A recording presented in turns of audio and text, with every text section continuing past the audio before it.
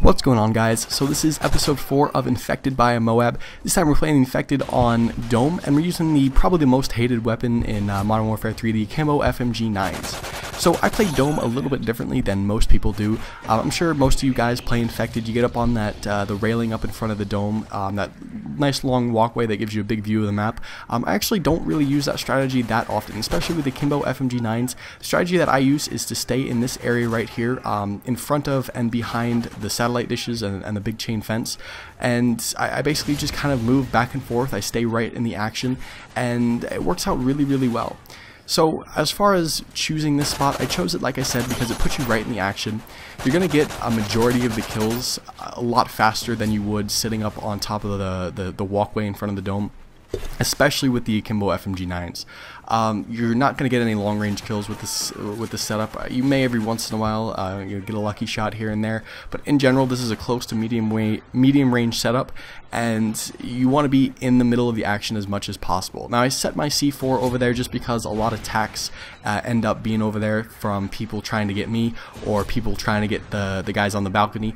So uh, if you put a C4 over there and you notice that they're spawning, um, go ahead and hit it, and you'll probably get two or three uh, kills or probably destroy some tactical insertions and you'll be that much closer to the Moab. As far as um, the strategy that I use, um, just kind of elaborating a little bit more, the reason that I chose this area as opposed to anywhere else is because um, the chain link fence actually serves as kind of like a, a big invisible wall of protection.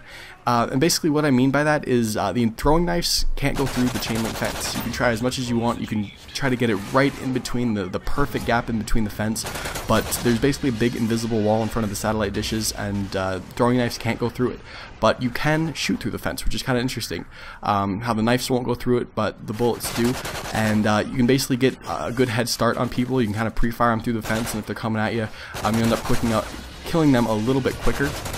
So I definitely think this is a good strategy. Um, good protection. The only way they're going to end up killing you is uh, if you're kind of low on ammo and you end up trying to reload or, or, you run out of ammo and end up rushing you and, and knifing you.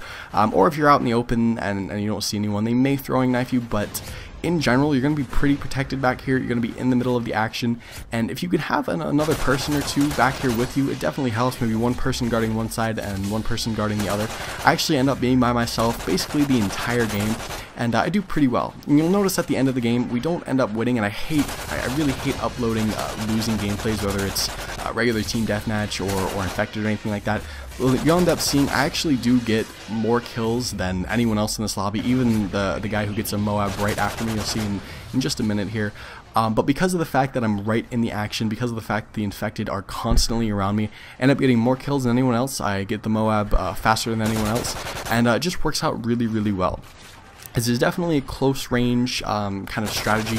Works great with the Akimbo FMG9s as you guys are seeing, but it also works great with the, the PP. And you see right there, um, I get the Moab uh, right away, and uh, we're still pretty early in the game even. Um, it just, uh, the, the game just switched to having the Infected as the advantage, and uh, like I said, um, FMG9s are great, the PP90 is great um, for close quarter with this setup, um, with this strategy that I'm using, and uh, just kind of a side note, one thing I hate about the Moab is the fact that they have, the, the smoke comes right after it and you can't see shit. It's really, really frustrating.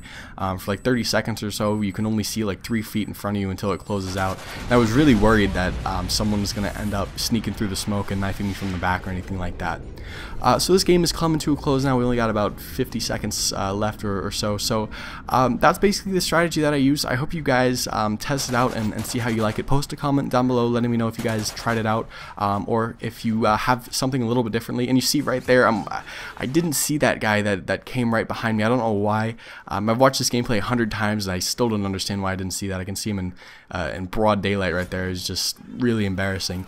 Um, but I hope you guys enjoyed. This game is coming to a close. Post a comment down below if you guys enjoyed. If you have any suggestions for me, any uh, guns you want to see infected, any maps you guys want to see, I'm open to anything. Um, this is actually the last Infected by a Moab game that I've had saved, so I'm going to work on getting a lot more, so I'll kind of get ahead of myself. But like I said, if you guys have any suggestions, definitely post a comment down below. I'm open to anything. Um, if you guys liked it, hit that thumbs up button and really appreciate it. it. Helps me out a lot.